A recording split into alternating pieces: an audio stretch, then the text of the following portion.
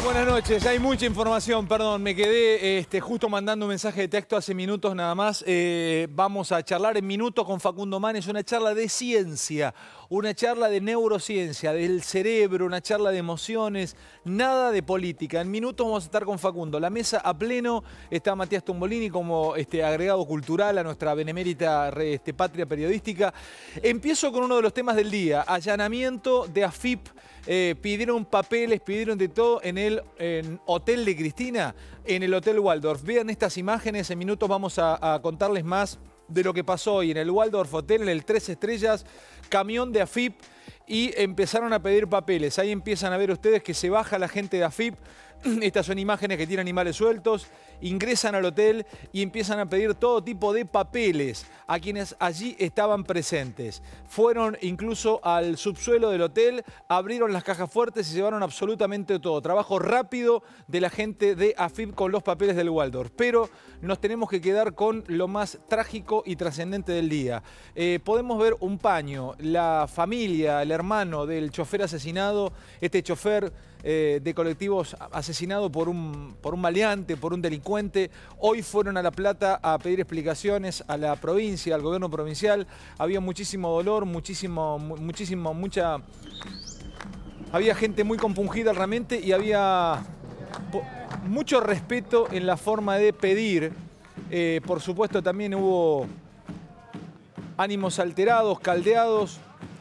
Eh, parece casi un giro del destino, que fueron a pedir, fueron a reclamar y hace unos minutos fue detenida una persona, aparentemente el asesino del chofer. En minutos te lo vamos a contar, esta es información de último momento. Pero el tema es el hermano del chofer que lamentablemente perdió la vida. Esto pasa en Buenos Aires, pasa en Argentina, pasa en la mayoría de las ciudades grandes de la este, República Argentina. Quiero que vean este informe porque vamos a hablar de esto. ¿Quién nos cuida? ¿Qué pasa? ¿De qué se trata? ¿Qué hay que hacer? Mano dura, mano blanda, ¿qué hay que hacer? Eh, la doctrina Zaffaroni, endurecer las penas, la, policía debe ser más dura. ¿Qué es esto? ¿Por qué pasa lo que nos pasa? Vean este informe, la, situación del conurbano eh, y un, una persona que vio el momento en que en realidad encontró muerto al chofer arriba del colectivo. Fuimos a buscar este informe, lo disparamos desde aquí, desde nuestras cámaras y nos vamos ya a charlar con la mesa de lo que estamos viviendo.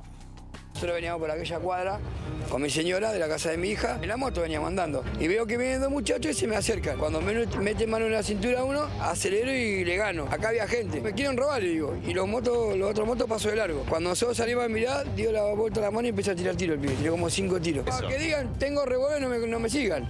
Y cuando veo que el colectivo impacta en la esquina, entonces voy hasta ahí con mi señora, abrimos la puerta del colectivo y lo veo tirado con un tiro en la cara acá. Estaba muerto. Algunos barrios del conurbano son zonas demasiado calientes, donde nadie se anima a salir cuando anochece. El campo este, no hay luz, no se puede pasar, es una boca de lobo. ¿Escuchás tiros con frecuencia acá? Siempre. Me tengo que estar tirando al piso, yéndome al baño que lo tengo de material. Lo hice como un búnker al baño. Cruzar la vía es un tema porque roban todo el tiempo, día, noche, y acá no hay luz. Se reúnen, robaste en tal lado, cuánto tenés, vos andás por allá y vos andás por allá.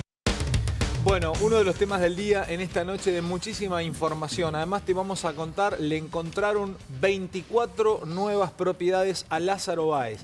24 algunas en el norte de la República Argentina y otras en, eh, entre otras en Ushuaia. Ahí funciona una de las gomerías más importantes de Ushuaia. En minutos te lo va a contar Romina Mangel, Daniel Santoro, 24 nuevas eh, este, propiedades le encontraron a Lázaro Báez a nombre de testaferros, incluso de... Eh, sociedades que tienen a sus hijos como este, jefes.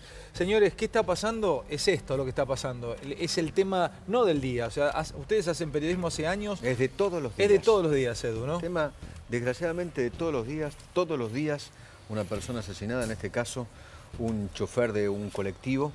Eh, tenemos como último dato, eh, eh, detuvieron a un joven de 24 años, lo detuvieron en Florencio Varela. Creo que tenemos la imagen de ese joven este delincuente que eh, junto con su compinche se fueron huyendo, trataron de eh, robar una moto y en la huida tiraron cinco disparos, uno de los disparos cruza la vía, Del otro lado de la vía venía con, con su colectivo Carlos Ernesto Sánchez, cinco hijos, 42 años. Eh, él venía en, la línea 514 y recibió un balazo en la cara que lo mató automáticamente. La persona que está ahí, el, el hombre que está ahí en, eh, sospechado de ser el asesino se llama Alexis Romero. Alexis Romero es el que detuvieron, como dice Eduardo, están buscando al acompañante. También encontraron la moto en la cual estaban circulando y está sospechado de ser efectivamente el que tiró el disparo, el que disparó y, este, y el plomo le dio en la cara al colectivero que terminó con la vida de él. Hoy había muchísima bronca con el intendente Mariano Cascallares de, de Almirante Brown porque la inseguridad es lo que decían los vecinos, ¿no? La inseguridad no para. Lo mismo la bronca de los vecinos de Loma de Zamora, qué sé yo. Está ocurriendo ahí, muchísimo. ahí no, es por, no es por defender a Cascallares, pero de verdad, o sea, hoy le- toca a, a Cascallares, mañana le toca a Insaurralde, otro día le toca a Massa, otro Eh. día le toca, bueno, en este caso Zamora. otro- eh, ese ya es una ruleta que corre que no terminan de, Catopodis. no- no- Catopodis. no terminan de, de- de encontrarle la vuelta a, a cómo abordar este tema. Claramente lo que pasó, y lo hablábamos el otro día, y lo manifiesta el informe del Observatorio Social de la UCA en lo que tiene que ver con inseguridad, no aumentaron tanto los delitos, si vos te fijás, pero sí la virulencia con la que se cometen. El otro día, el matrimonio que también fue en Lomas de Zamora, que falleció porque iban en un auto en el que los secuestraron y los delincuentes terminaron chocando, venían de hacer una salidera. Vos imaginate el estado en el que tienen que estar. Haces una salidera, que ya digamos es un, un delito, y el delirio que significa agarrar un auto, afanarte un auto, hacer una salidera. Y con ese mismo auto, no es que se van a la casa a juntar la guita, tiran el auto como lo tiraban antes, lo dejan en un desarmadero. Con ese mismo auto se fijan qué otro delito pueden cometer, ven salir un matrimonio de gente grande de un cumpleaños y se lo llevan encima. Lo que aumenta, si vos te fijas en los números, no es el delito, pero sí la violencia con el delito. Vos recién decías que hay que hacer mano dura. Me parece que el mejor ejemplo que la mano dura no funciona tiene que ver, por ejemplo, con los femicidios. Se incorporó al Código Penal la figura del femicidio como agravante. Aumentaron enormemente la cantidad de femicidios. No es que bajaron porque en el Código Penal vos ahora sabés que es un agravante. Para- al contrario, pasaste de una mujer muerta cada 36 horas a 30 y creo que ahora va, Bueno, va ahora, bajando. ahora, ¿no? ahora, ahora, pará, lo tengo Tombolini. Sí. eh, Tombolini, ¿alguna respuesta a esto debe haber? ¿Es la economía? ¿Es tu ámbito? ¿Es tu ciencia? Digo, ¿cuál es la, cuál es la respuesta a bajar esto que está viviendo el bonaerense y en, en- en re- en gran, en gran parte el argentino? Primero, por supuesto, el dolor de, la, de la situación de Carlos, ¿no? Que es un papá de cinco chicos que perdió la vida por un, por un, este, por un delito más de los que tenemos todo el tiempo. Después, ver un poco lo que pasó. O sea, el pasado 12 años negando, este, la- hablando de la sensación de seguridad, no lo resolvió y tocando timbres y sacándonos fotos hoy tampoco lo estamos resolviendo. Para mí, hay que empezar a pensar en términos de una cruzada nacional contra el delito. Digo, vos pensás, ¿te acuerdas- ¿se acuerdan cuando fue eh, la crisis de la, de la, gripe, de la gripe A? Eh, ¿Por qué te, te lo planteo en este sentido? Cuando hay algo que nos afecta a todos, ¿no sería mejor empezar a pensar ideas innovadoras que nos involucren a todos? Imagínate lo siguiente, eh, distintos comités de expertos, sin etiqueta, sin si uno es de, eh, de este partido, del otro partido, buscando una, una solución entre los especialistas y desde el punto de vista de la comunidad, intentando, digamos, coordinar comportamientos colectivos que permitan justamente ayudar a prevenir el delito, pero Sí, mirarlo pero- desde, una pero, lu- desde Tombo, un lugar Tombo, La gente innovador. está haciendo un montón de cosas. Tombo, vos, Vos sos un con tipo, vos sos un tipo eh, eh, eh, eh, concreto, vos sos dogmático. Me estás eh, tirando a analizar el sexo de los ángeles ahí. No, Bájamelo más a lo que tierra. te estoy Tombo. diciendo es Jun- que hay que- juntarnos todos, que lo que todos, probamos hasta ahora no funcionó. Eso lo sabemos. Bueno, ahora, por eso estoy diciendo, y la mejor manera de probar algo distinto es por lo menos pensarlo desde un lugar diferente, porque las estrategias que se usaron no sirvieron. Eh, por este lado, Se hace poco y cuando se hace, se hace en soledad. Y el, el que toma la decisión no es creíble y es sometido al, debate público inmediatamente. O sea, estas cosas lo que necesitan es credibilidad del que toma la medida. Por eso yo coincido con Tombo en que acá hay que sentarse todos. Es crítico, es crítica la situación.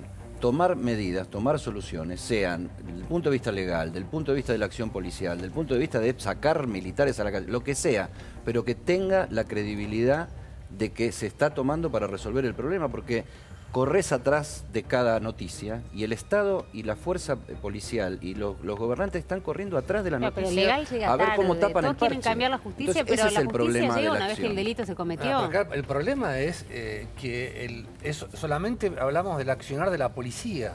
El año, el año pasado Garabano mandó un proyecto de ley para crear un régimen penal juvenil y el Congreso no lo trata. Entonces, si no es la justicia con los legisladores y la, y la policía juntos, vamos a, a pasar lo mismo, vamos a se- seguir corriendo. Entonces, po- podés Pero- tener una buena policía más o menos, pero... Invadir, invadir las calles de efectivos, sea militares o sea gendarmería, ¿no, ¿no resuelve? No hay ninguna medida puntual que te resuelva un problema sistémico.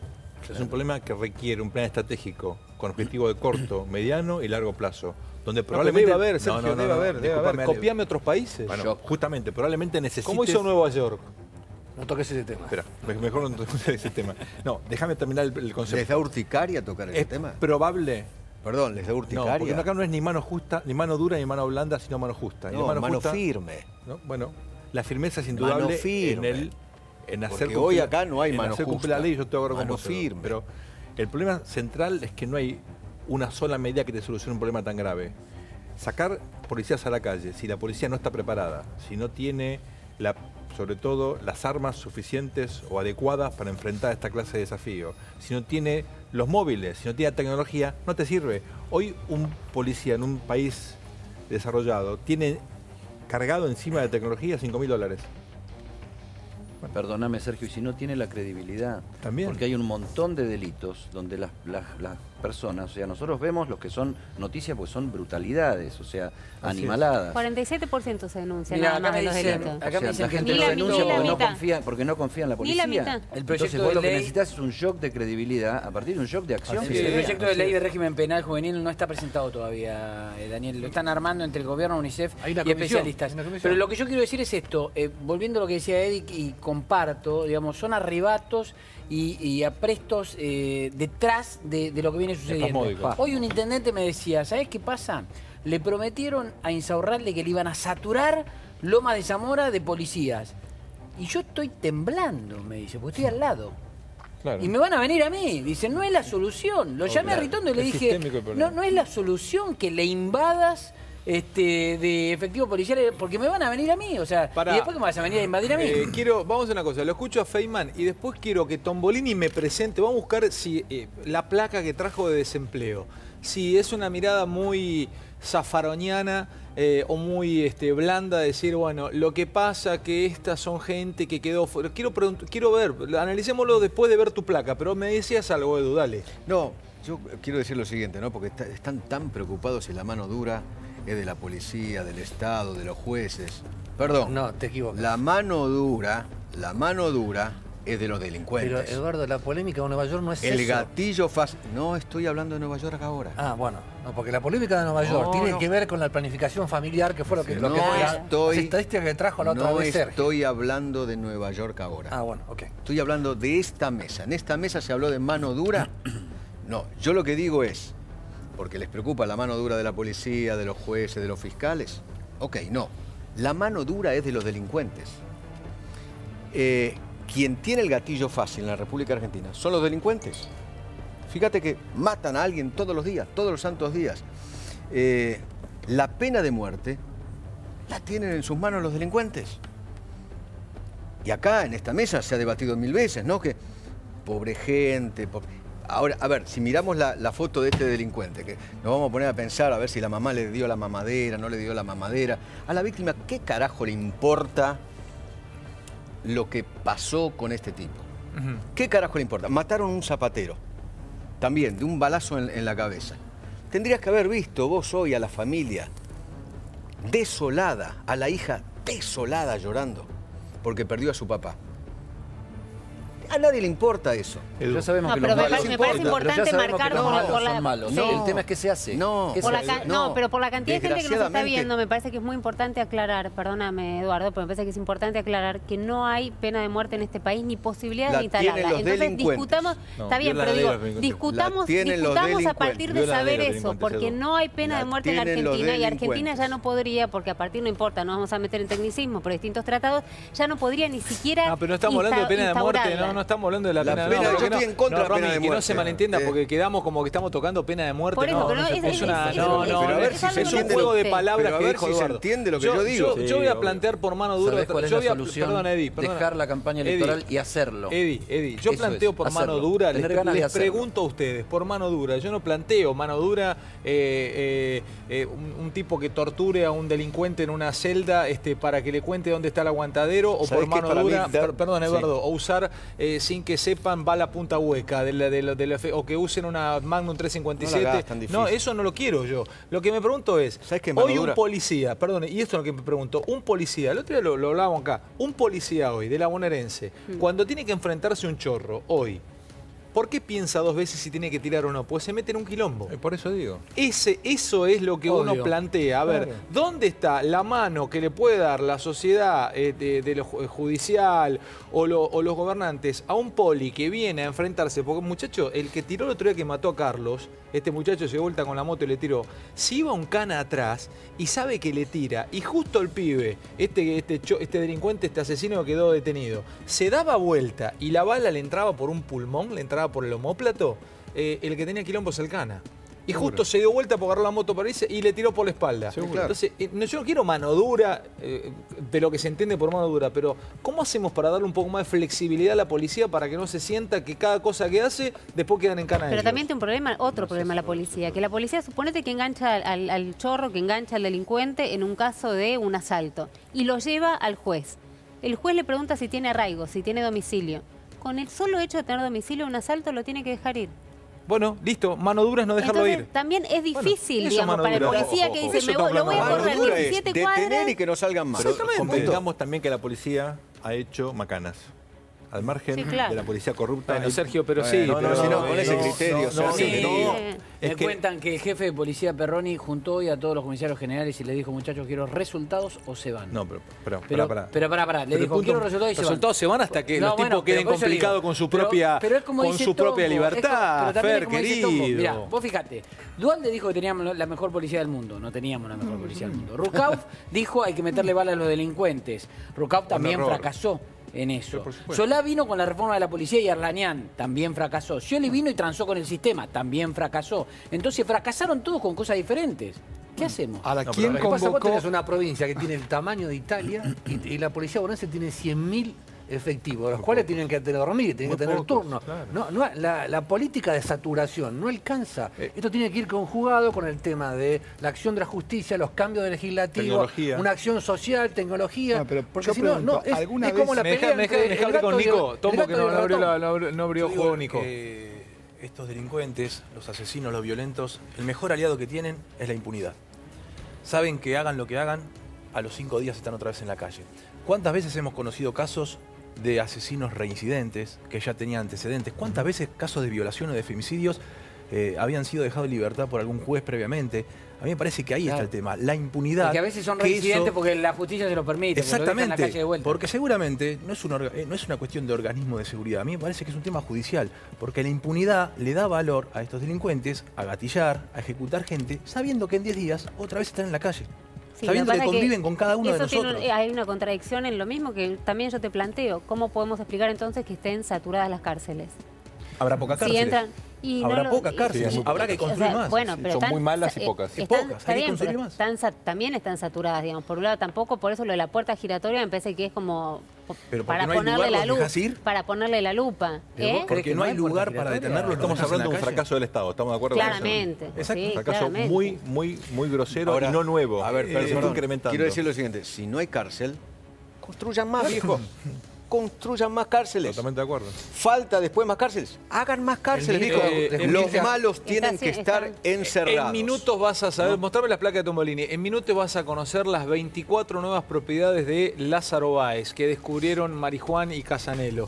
Pero además te voy a contar, te voy a anticipar una jugada que quiero que la analicen ustedes. Hoy me, me reuní con una fuente y me contaron lo que podía pasar, podría pasar con Cristina si es que le piden indagatoria, perdón, ya está pidiendo indagatoria, si es que acepta indagarla, esto es para ustedes dos, me lo van a contar, si es que acepta, pero en minutos te lo voy a contar. Pará, no me adelanto, mostrame la placa de desempleo porque tiene que ver con lo que estamos viviendo y en minutos viene Facundo Manes también, ¿eh? Una charla de ciencia con Facundo. Rápido, Tombo, porque tengo muchos temas y Bueno, pocos minutos. Básicamente lo que, lo que tenemos para, lo que estamos mostrando ahí es una comparación que tiene que ver con desde el 2004 hasta el 2017, el salto que se dio entre el primer trimestre del año y el último trimestre del año anterior. Una de las cuestiones que se debatieron cuando se conoció el, dato de desempleo de 9,2%, Ale, se dijo, no se puede comparar este desempleo con el desempleo del último trimestre del año pasado. ¿Cierto? Es verdad. ¿Qué hicimos? Comparamos el último trimestre de- del año pasado con el primero de este, año y lo replicamos para atrás. Y lo preocupante, Ale,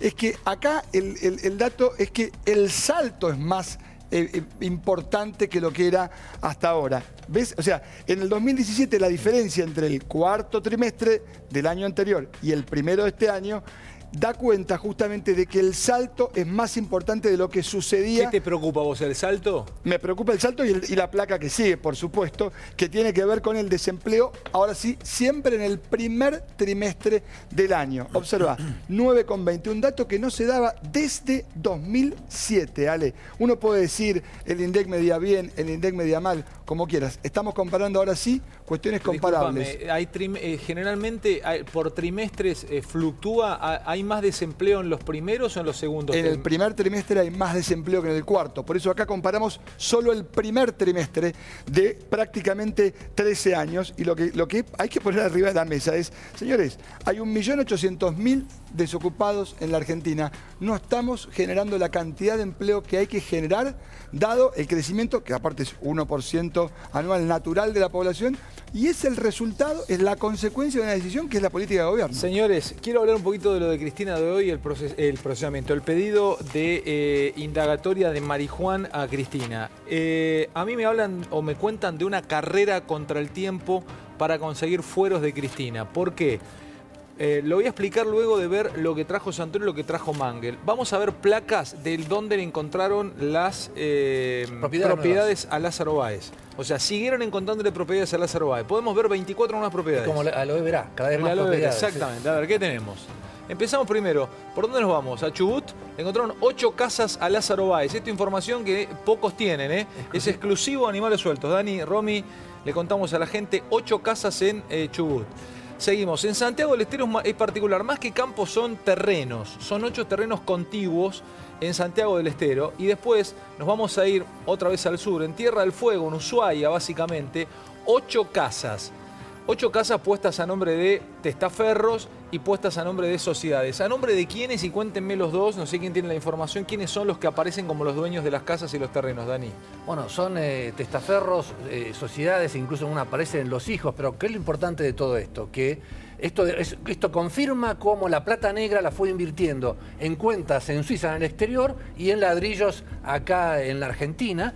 Y, el otro elemento nuevo que, lleva a esto es que esto puede llegar a cortar la caja de financiamiento que todavía le queda a Báez y que no está dentro del juez Casanelo que ha dispuesto es embargos preventivos, todo esto. O sea, lo que, lo que podría decirse es que si no le encontraban estas 24 propiedades, estas 24 propiedades continuaban generando plata en alquileres y esa guita seguía Por- bancando el sistema Porque- Baez. Y con esto, con esto termino. Eh, la versión que hay en Comodoro Pi es que no los abogados de Baez, hay un montón de abogados de contadores, empleados, eh, que, alguien les paga, no se sabe quién. Es decir, hay una caja, se supone que la tiene eh, la- la- una mujer vinculada sentimentalmente que estuvo a él, Liliana Costa, y que de esa caja que salía de estos alquileres es que se puede mantener a ese abogado, que son abogados caros y demás, ¿Sabés y mantener el silencio de esos otros, digamos, jugadores menores en este pacto de silencio. ¿Qué tenés de los nombres de los que estaban Sí, ya te- apareciendo eh, como testas? Era allí? lo que te iba a contar. Hasta el momento nosotros contamos, los chicos, los hijos de Báez están procesados, algo que le preocupa y mucho en dos de las causas, una en el, en el fuero penal económico y otra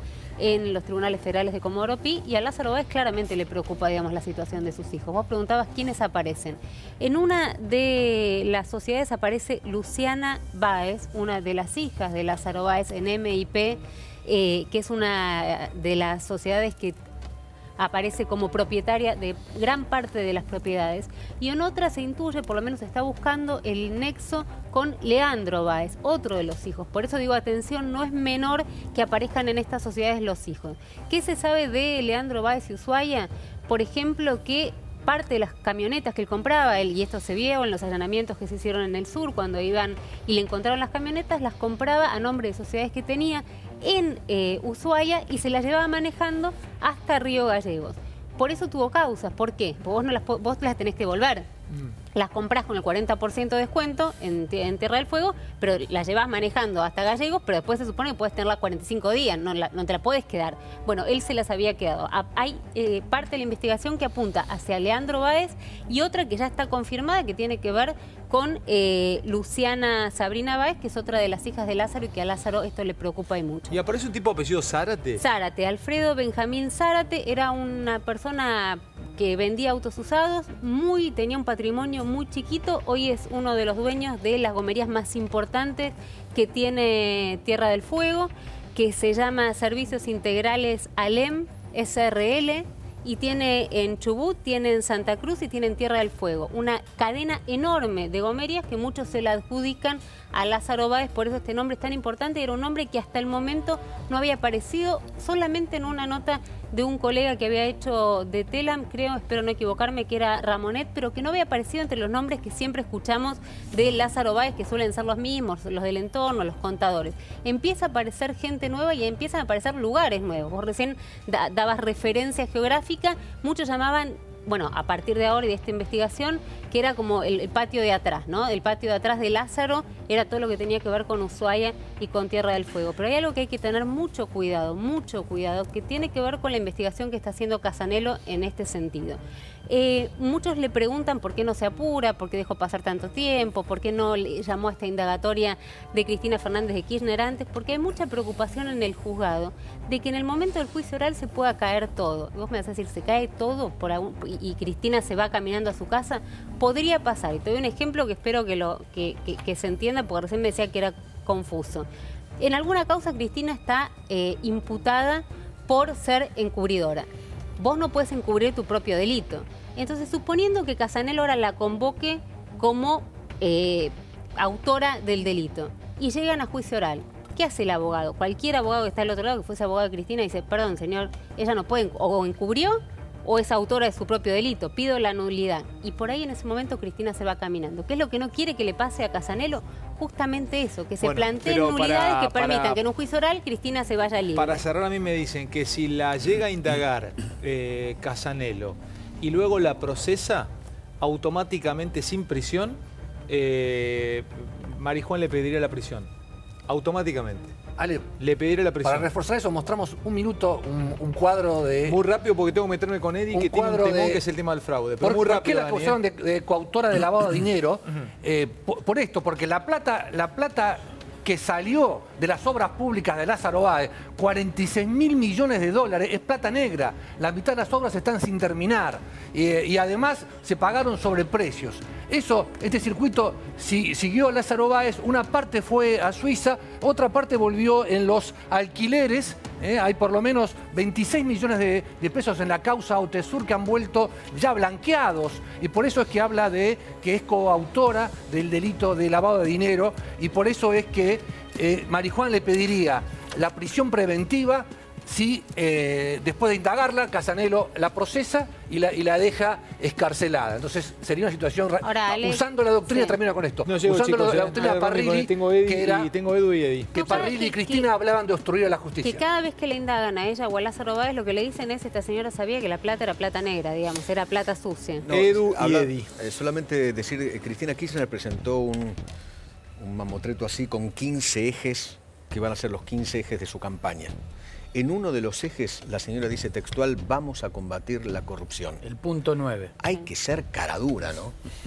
Mamma mía, tenés que ser cara dura, cara rota Hoy se conoció un eso. spot publicitario en donde ella dice por los para volver a acordarnos de los adultos mayores. Eh, le quiero recordar que en Santa Cruz los jubilados están tomando la calle de gobierno, no cobran de hace un montón y piden comida. Eddie, combatieron la eh, corrupción de los otros. Me enganchaste mucho con la venta en la, en la rutina, porque dice Eddie Zunino, tema eh, preocupa o te preocupa o en realidad traes como preocupación fraude. Sé que me enganchó el tema, me enganchó, eh. dije, a ver, vamos a tocarlo este tema, a ver, ¿por qué? Cada elección que se hace, sobre todo las elecciones que definen algo importante, y esta que viene ahora va a ser una elección que va a definir algo importante porque va a ser el panorama electoral y el panorama político hacia las próximas presidenciales y después las presidenciales van a también definir algo importante. Alguien termina denunciando que hubo algún tipo de fraude en la elección y se le echa la mirada a cómo es el sistema de distribución de las urnas, conteo de, de los votos, conteo electrónico y más de una vez se ha denunciado y después no se, no se comprueba nada que hubo eh, fraude. Eh, Carrió lo hizo en la- las elecciones del 2015 cuando los- las cifras no daban y acusó a la empresa dedicada eh, a eso que se llama Indra, que es una empresa de origen español. El que- fraude siempre te lo y que podría desde hacer, te lo- 1997 el fraude te es lo la hace- única empresa que ha hecho los conteos el fraude te lo, siempre te lo hace el que maneja el aparato. Bueno, nunca se llegó a investigar si había habido fraude. Y algunos le echan la no. culpa. A Indra, Sí otros al correo, En claro, Tucumán, otros por ejemplo, pero fue una cosa más de analógica, de Pero robo de siempre hubo urnas, versiones, pero o sea, nunca se puede comprobar un fraude, nunca. Dualde en las pasos del 2013 también dijo que había habido fraude, señalaron un fraude electrónico, dijo, y señalaron eh, a Indra. Esta empresa, Indra, y se acerca el momento de decidir, porque detrás de toda la polémica de quiénes van a ser los candidatos, cuáles son las alianzas y qué sé yo, está el funcionamiento de la elección en sí. El 6 de junio, el Poder Ejecutivo, a través del Ministerio del Interior, publicó el decreto que transfiere al Correo Argentino toda la responsabilidad de la organización, conteo, eh, por primera vez toda la responsabilidad es del, es del Correo Argentino, delegada por el Poder Ejecutivo. El correo argentino tendría que llamar a una licitación o informar rápidamente cómo, cómo se va a hacer eso. Esto siempre, y esto no es un problema de una gestión, es un problema de todas las gestiones. Esto siempre se hace muy sobre la fecha, las cláusulas de, de la cuestión, solo hay una empresa que lo puede hacer y Indra sigue, este, sigue siendo acá. No hubo comprobación de ningún fraude.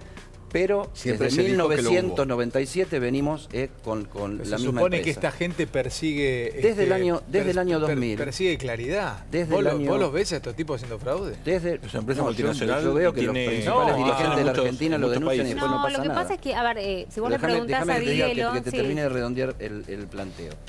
Desde el año 2000 hasta diciembre de 2015, cuando se fue Cristina, fue director nacional electoral Alejandro Tulio. Alejandro Tulio fue nombrado en este año en el correo y es el que se va a encargar de, es el que sabe de todo el Radical originalmente, ¿no?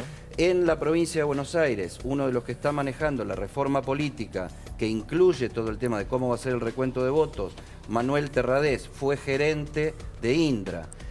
España está en este momento en un escándalo de corrupción en 2011 entre el Partido Popular e Indra, entre otras empresas, donde acaba de ser detenida hace muy poquito una eh, persona de origen argentino, María Fernanda Richmond, por tratativas con un canal de televisión, eh, eh, el canal Isabel II, que es la esposa de Javier de Andrés, que es el número dos de, Inda- de Indra a nivel global, y trabajó en Indra Argentina entre 1999 y 2003. Que haya sospechas de corrupción concretas, comprobadas y gente presa en España, no, con la misma empresa, no quiere decir que las haya acá. Pero está llegando el momento de decidir cómo vamos a hacer la elección y todo indicaría que una vez más le está cayendo Ale, a no hay ningún motivo por el cual el Estado argentino no pueda tener tecnología para administrar endógenamente las elecciones. Si tenemos la FIP, que tiene capacidad para realmente tener un sistema tributario tan controlado, no hay ningún motivo para el cual nosotros no podemos tener elecciones O por, reguladas o por por, lo menos. Sergio, que los sistemas de delegación, de responsabilidad o de, o de tercerización, porque a veces Pero hay dos podés tener que hacer, perdóname, podés tener que hacer lo que sean transparentes, que no sea Hay todo un una conteo hora antes provisorio a ma- mano de Indra y un, y un conteo Manual, definitivo a mano de la definido. ¿Por qué justicia. Por eso digo, la justicia electoral dice, y esto lo suele repetir siempre Jorge Dile, lo que es el fiscal electoral, que nun- primero que nunca un fraude comprobado, pero que además nunca puede ser una magnitud tal que te cambie el resultado de una elección.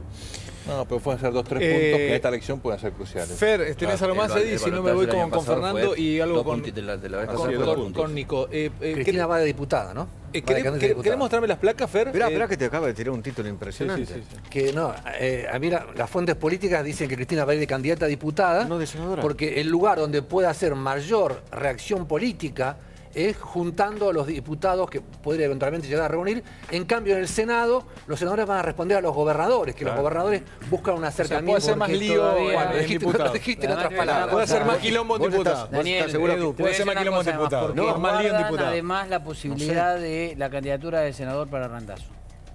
Quiere negociar hasta el 24 cuando Porque cierre. guardan Bueno, porque la se- Ustedes están tirando la. Porque se lo lo tiran así a la pasada. O no será. Che, te vinito, lo te quieren convencer a Randazo de que sea candidato a senador. Eso no va a ocurrir. Y no. Cristina. No lo va a aceptar. te digo. Estamos viendo fórmula. escenas de No lo peronismo va a aceptar. explícito Sí. en la Argentina. Sí, claro. Ahora, te digo una cosa, ¿vos estás seguro que ese es el motivo o el motivo es que quizás no le alcancen los votos para ser Para ser- segunda.